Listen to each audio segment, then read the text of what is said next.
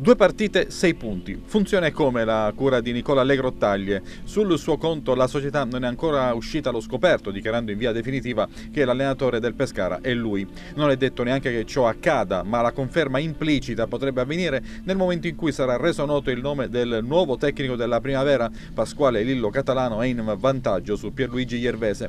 Di certo Nicola Legrottaglie ora ha tutte le sembianze di un intoccabile e la sua gestione sta regalando soddisfazioni, punti ed emozioni.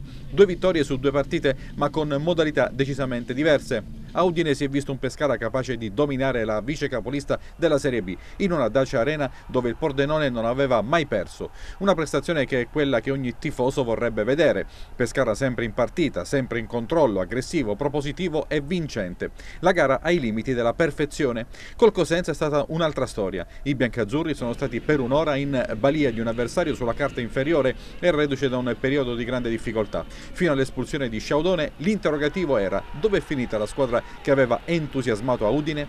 La partita è cambiata quando le squadre si sono ritrovate 10 contro 10 e nell'ultima mezz'ora il Pescara ha tirato fuori una energia straordinaria, una voglia di vincere che si è manifestata in quei pazzi minuti di recupero. Dopo il rigore fallito da Galano, i biancazzurri hanno cercato la vittoria a costo di subire la beffa finale, vedasi il palo di Asensio appena un minuto prima della rete di Bocic. Cosa è successo nell'ultima mezz'ora? Lo spiega Le Grottaglie nel post su Instagram. A volte puoi dominare avversari e problemi, altre volte li subisci, ma le partite in campo e fuori si vincono anche così, alzando la testa nelle difficoltà. È così che si diventa grandi. E poi ancora, in un post successivo, quando sei in difficoltà, molla. A tutti può capitare di essere messi sotto da un avversario o da una circostanza. Allora hai due possibilità, molla oppure molla, inteso come effetto. Più sotto vai, più spinta hai per andare dove non saresti mai arrivato senza, in alto. Parole che dicono tanto, specie ricordando Pescara Cosenza.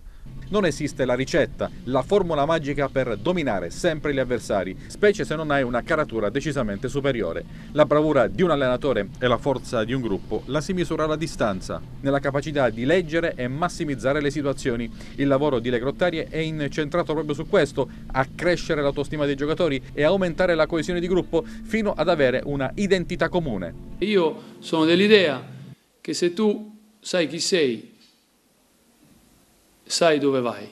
Se non sai chi sei, qualcun altro ti dirà chi sei e qualcun altro ti dirà dove devi andare.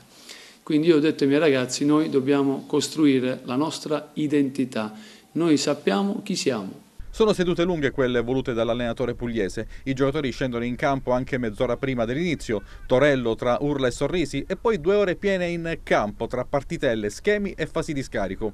Momenti che il gruppo sta assimilando con grande fervore. Serviranno tante altre controprove perché la crescita ha bisogno di tempo e del superamento di altre difficoltà, anche quelle dovute ad un mercato che ha indebolito la squadra, ma che d'altro canto sta portando in auge il talento dei millennial Zappa e Bocic.